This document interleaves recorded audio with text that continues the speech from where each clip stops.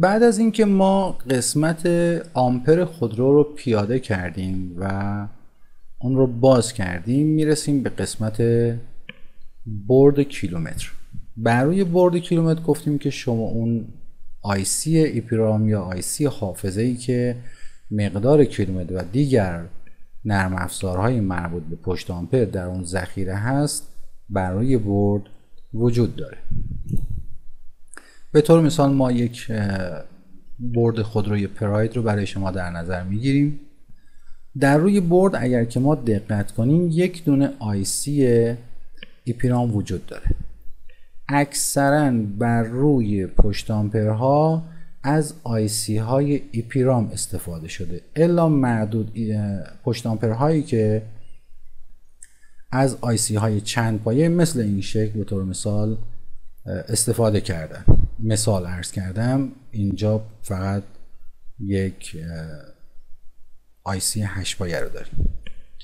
مهمترین نکته ای که خدمت عزیزان باید ارز کنم و اکثرا دوستان فراموش می‌کنن و دچار مشکل میشن مشخص نکردن پایه شماره یک آیسی هست.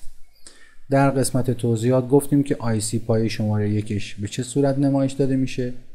زمانی که یک برد رو دارید باز می‌کنید اولین کاری که می‌کنید این است که با یک ماژیک که رنگش پاک نمیشه میاید و بر روی برد علامت می‌زنید پایه شماره یک آیسی رو در اون قسمت.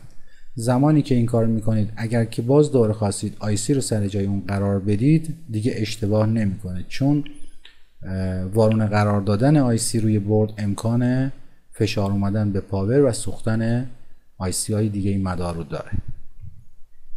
بعد از اینکه پایه شماره یک آیسی رو مشخص کردیم میایم و بر حسب شماره آیسی اطلاعات داخل آیسی رو می‌خونیم. خوندن اطلاعات هم که دیگه دوستان می‌دونن از طریق پروگرامر و تبدیل آیسی هش پایه اطلاعات خونده میشه. با شماره ای که بر روی آیسی قید شده ما از نم اون پروگرامر خودمون استفاده می‌کنیم. اما همینجا بیایم ببینیم کلا ما چند شماره آیسی ممکنه که داشته باشیم. اگر نرم افزار تاکوسافت رو باز کنید در قسمت سلک کار می‌تونید خودروهای خودتون رو انتخاب کنید. یکی اینکه خدمت عزیزان بگم که الان این ورژن 23 و یک دهم هست. آخرین ورژنی است که در خود سایت تاکوسافت وجود داره و برای استفاده شما عزیزان قرار داده شده است. سلک کار رو قرار میدیم. ببینید خودروهایی که وجود داره از خودروهای آلفا رومئو آودیو جم دبلیو کرایسلر الی آخر این خودروها تا قسمت نهایی که نوشته آدر یعنی دیگر خودروها مثل مثلا ایسوزو یا نمی‌دونم خودروهای من یا سایپا حالا مثلا 141 هست. سمند همینطور سمند سورن هم می‌بینید که قرار داده شده. و حالا دیگر خودروها نمی‌خوایم دونه دونه نام ببریم. به طور مثال ما از خودروی کیا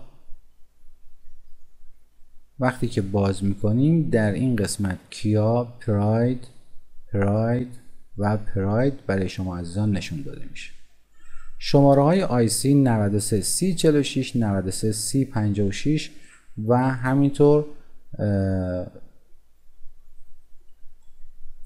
پشت هایی که از IC های NEC استفاده کردن. که سالش رو هم می‌تونید ببینید 2006 تا 2007 تقریبا مربوط به چند سال قبل خواهد شد. هدف این بود که ما ببینیم خب کلا چه شماره آیسی های ممکنه ببینیم.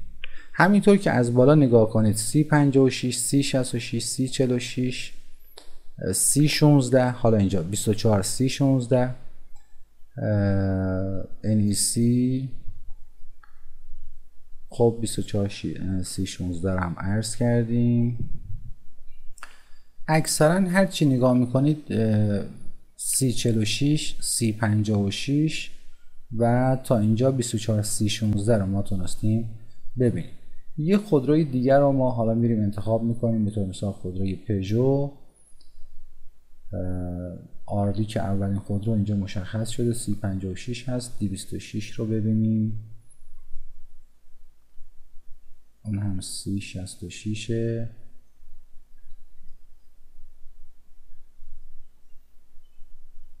می‌خوام که حالا کلا شما مثلا به طور مثال اینجا 308 95 040 هست 95 128 هست.